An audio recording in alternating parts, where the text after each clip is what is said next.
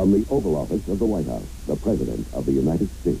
My fellow Americans, I'd like to speak to you about the choice you'll be asked to make this November 6th, Election Day. I believe it's the clearest choice in 50 years on what direction our country should take for your future and America's. We've made a new beginning, but there's more to be done. And now we're being asked to choose.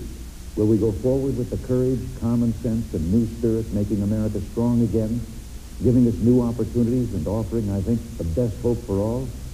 Or will we turn back to policies of high taxing and spending that weakened our economy, reduced opportunities, and brought hardship to so many?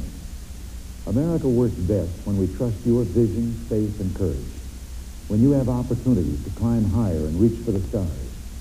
But we saw that back when we let government control our future, America got into serious trouble. We saw a strong nation staggered by no growth, punishing inflation, record interest rates and taxes, rising unemployment, and weakened defenses.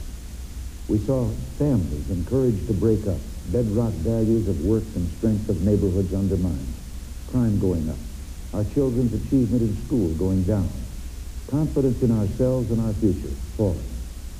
America wasn't working very well, yet those in charge gave us excuses, not solutions, and they blamed the people for their mistakes. When I became custodian of this office, I wanted more than anything to help Americans believe in themselves again.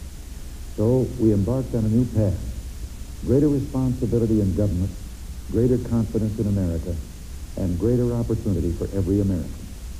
We've reduced government spending growth, gone forward with a long overdue defense rebuilding program, and won the first comprehensive tax rate reduction for the people since President John Kennedy's program.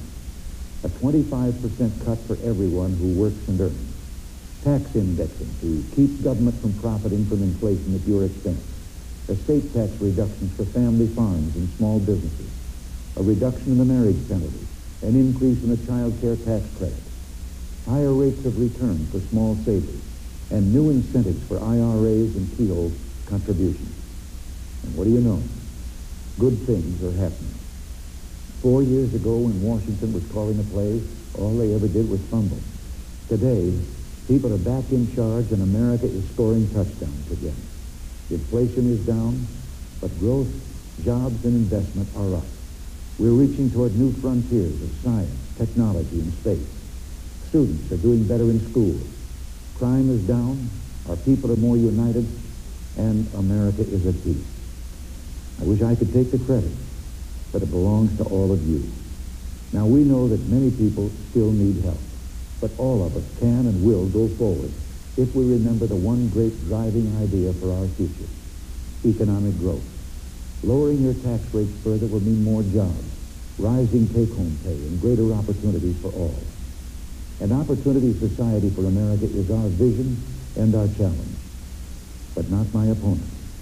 His policies would take us off the new path of an opportunity society and put us back in the old path of defeatism, decline, and despair. He fought the idea of your receiving any tax cut.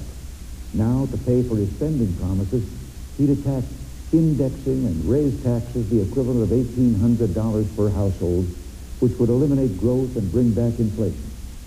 His faith has always been in government. Ours is in people. He sees America divided by envy. We see America inspired and uniting for opportunity. We believe in knowing when opportunity knocks. He seems determined to knock opportunity. Haven't we struggled too hard, come too far to go back to that unhappy past? If we stick together, we'll keep building something new and much better. A renewed American spirit with a future of shining opportunities our children can cherish forever. Thank you, and God bless you. This is the NBC Television Network.